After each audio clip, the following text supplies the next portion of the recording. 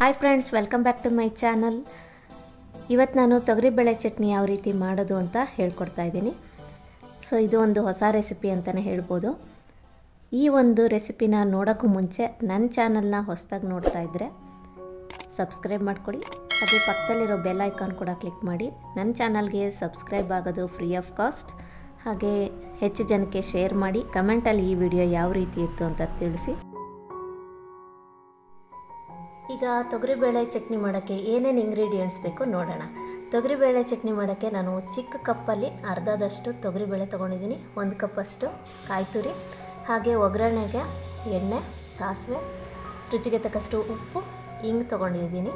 ಹಾಗೆ ಒಂದು ಐದು ದೊಡ್ಡ ಸೈಜಿನ ಮೆಣಸಿನ್ಕಾಯಿ ತೊಗೊಂಡಿದ್ದೀನಿ. ಕರಿಬೇವು, ಹಾಗೆ ಕೊತ್ತಂಬರಿ. ಸೊ ಇದನ್ನು ಯಾವ ರೀತಿ ಮಾಡೋದು ನೋಡೋಣ ಬನ್ನಿ. ಫ್ರೆಂಡ್ಸ್ ಇವಾಗ ಒಂದು ಫ್ರೈಯಿಂಗ್ ಪ್ಯಾನ್ ಇಟ್ಕೊಂಡ್ಬಿಟ್ಟು ನಾನು ನೆಕ್ಸ್ಟು ಇದಕ್ಕೆ ತೊಗರಿ ಬೇಳೆ ಹಾಕೋತಾ ಇದ್ದೀನಿ.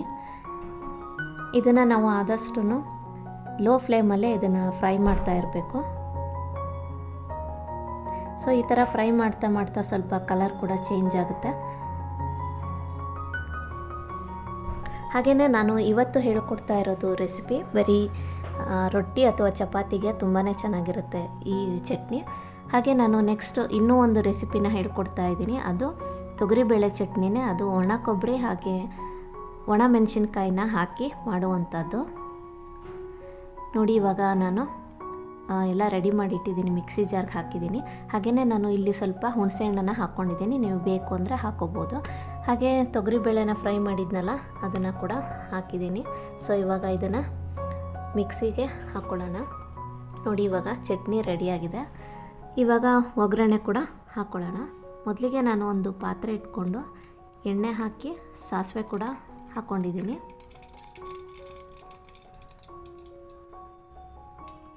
ಸೊ ಇವಾಗ ನೆಕ್ಸ್ಟು ಸ್ವಲ್ಪ ಹಿಂಗೆ ಹಾಕ್ಕೊಳ್ಳೋಣ ಹಾಗೆ ಕರಿಬೇವು.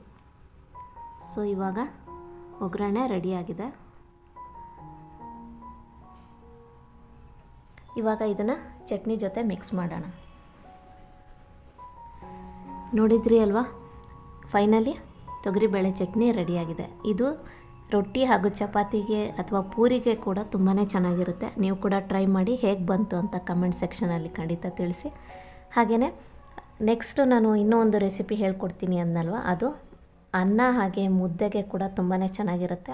ಸೊ ನಾನು ನೆಕ್ಸ್ಟು ಆ ವಿಡಿಯೋನ ಕೂಡ ನಿಮ್ಮ ಜೊತೆ ಶೇರ್ ಮಾಡ್ತೀನಿ. ಸೊ ಇವತ್ತಿನ ವಿಡಿಯೋ ನಿಮ್ಗೆ ಇಷ್ಟ ಆಗಿದ್ರೆ ಗೊತ್ತಲ್ಲ? ಲೈಕ್ ಮಾಡಿ. ಹಾಗೆ ನನ್ನ ಚಾನಲ್ಗೆ ಸಪೋರ್ಟ್ ಮಾಡಿ ಅಂತ ಹೇಳ್ತಾ ಮತ್ತೆ ಸಿಗ್ತೀನಿ ಮುಂದಿನ ಒಳ್ಳೆ ವಿಡಿಯೋ ಜೊತೆ ಅಂತ ಹೇಳ್ತಾ ಇವತ್ತಿನ ವಿಡಿಯೋನ ಮುಗಿಸ್ತಾ ಇದ್ದೀನಿ. Thank you for watching bye bye